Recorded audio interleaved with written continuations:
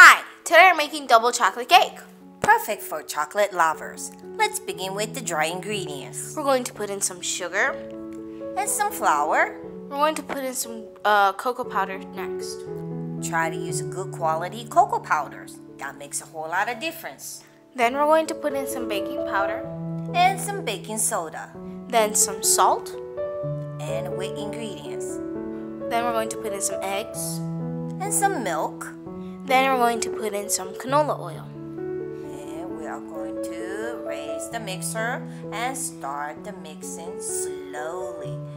Prevent from flying the flowers all over the place. Then add in some vanilla and continue to mix until it is smooth. It is thick in the beginning, so but keep mixing and then lower the mixer and scrape the side. And then we're going to pull the mixer back up and start it again. After that, we're going to pull some hot water. And then mix it quickly, but don't mix it too fast because you don't want it to spill everywhere. It is very soupy kind of batter. Then we're going to scrape again. And mix it for one last time. And then pour the batter into the butter and flour container. Um, cake pans. And then we're going to put them into the oven and take them out when a toothpick comes out clean. Take them off out of the pan and put them onto a rack to cool. Don't frost them until they are cooled. Now we're making the frosting. Put the cocoa powder on top of some of the softened butter. Room temperature butter. Yeah. And then put in some powdered sugar. Do a little bit at first because you don't want it to be super sweet. But if you like a sweet, you can add some more. But start with small amounts so you can control the sweetness of your uh, frosting. Then put in some milk and vanilla and mix. If this is too thick, you can add in some more milk. But if it's okay with you, then you can keep it. Then we're going to take the tops off.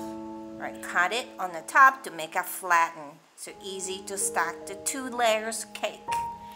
Um, don't throw away the tops. You can use them for something else, like making cake pops or ice cream sandwiches or other desserts, whatever you want. Alright, and then you are going to put the frosting and smooth it out. So every bite you will have the frosting between two layers of chocolate cake. Then we're going to put on some more because it wasn't enough. Um, make sure you don't put too little because then you'll start to pull the cake up and it's going to be really bad. So add enough frosting but not too much. And then we're going to put on the second layer. Then put some more frosting on the top. Just like how we did with the first layer, we're not going to put too much but not too little. We want it to have a little bit of thickness as this is a top layer, but not too thick so that like it's not able to be eaten. And then put some more frosting all around the side of the cake.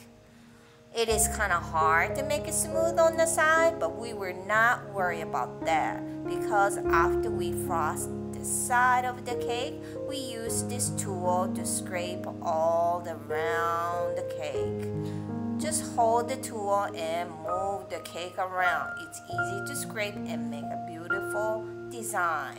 Then we're going to pipe on some frosting on the top. We use the star-shaped tip and we just pipe it all around. And keep continue piping on the edge. It's very glossy, delicious, double chocolate cake. Enjoy! What what what